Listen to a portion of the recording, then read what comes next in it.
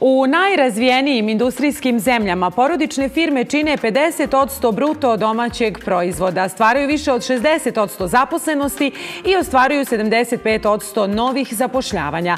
Centar za poslovnu edukaciju Proeduka proveo istraživanje na uzorku od 208 porodičnih firmi u Republici Srpskoj. Rezultati su pokazali da je najveći broj firmi koji su učestvovali u istraživanju osnovan od strane trenutnog vlasnika, dok je tek 7,7% naslijeđeno, a 1,9% kupljeno. Od tog broja 80% porodičnih firmi posluje manje od 20 godina.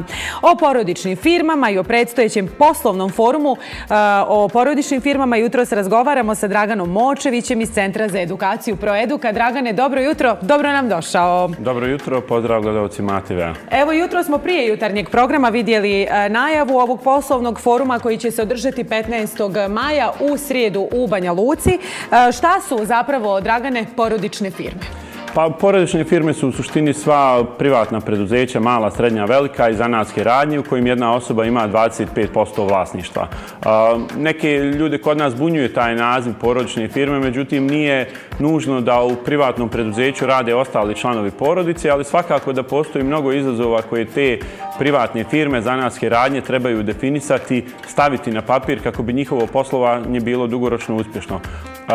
Problem je u svijetu gdje postoji tradicija duga stotinama godina kada je u pitanju preduzetništvo i tamo više od 70% firmi ne uspije da preživi transfer u drugu generaciju. Evo naše istraživanje je nažalost pokazalo da taj trend kod nas ne samo da je takav, nego je još gori s obzirom da postoji objektivni faktori u smislu nepostojanja preduzetničke tradicije, u smislu socijalističkog samoupravnog sistema koji je 45 godina dominirao na ovim prostorima, tako da se tek od 96. na ovamo razvija preduzetnička inicijativa, otvaraju privatna preduzeća i ona još uvijek nemaju znanja i iskustva kako da se stabilizuju. Nažalost, imamo već dosta primjera preduzeća koja su propala, koja su nestala, iako su u jednom trenutku možda bila tržišni lideri, baš zbog toga što se na vrijeme nisu počela prilagođavati izazovima koje donosi generacijska tranzicija, znači prenos upravljanja u firmi i vlasništva sa roditelja na djecu ili na neke druge članove porodice ili na neke vanjske menadžere i tu imamo zaista mnogo problema. Osim toga uh, imamo uh, jedan um, također loš parametar, a to je da naši preduzetnici i vlasnici privatnih preduzeća nisu baš skloni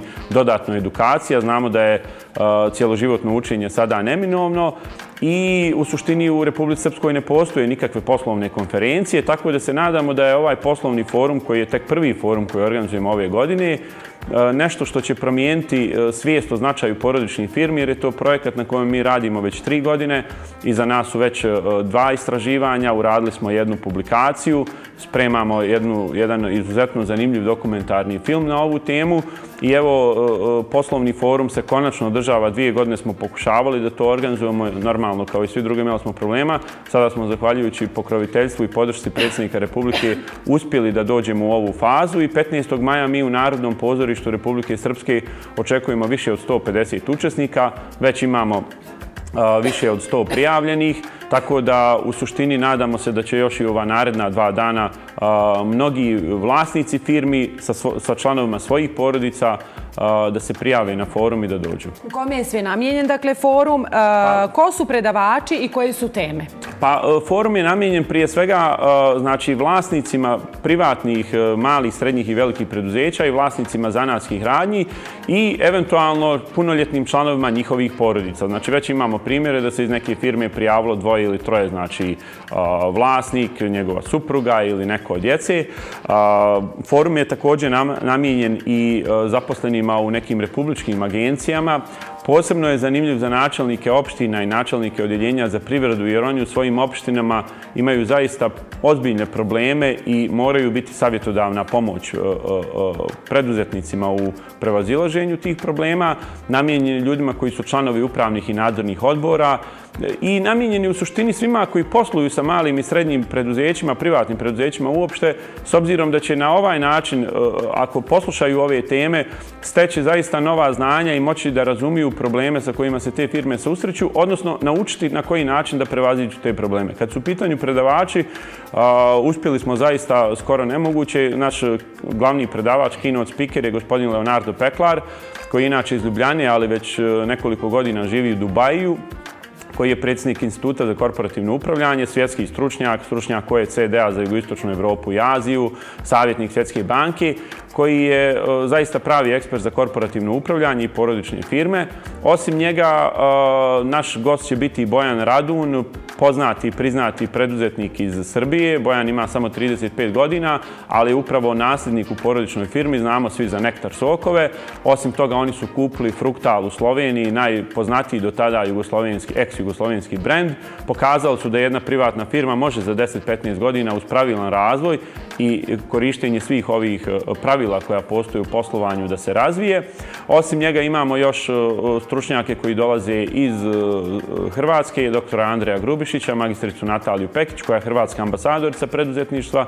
Iz Slovenije nam dolazi Robert Ličen, koji je nekoliko godina zaredom bio menadžer godine ili krizni menadžer godine u Sloveniji. Imaćemo panel diskusiju u kojima ćemo imati i domaće stručnjake u kojima ćemo pokušati da damo odgovore šta je to što država može da napravi za porodične firme, jer postoji mnogo toga od sistema obrazovanja do nekih e, stvari koje e, nisu definisane zakonom ni, nekim pravnim regulativama.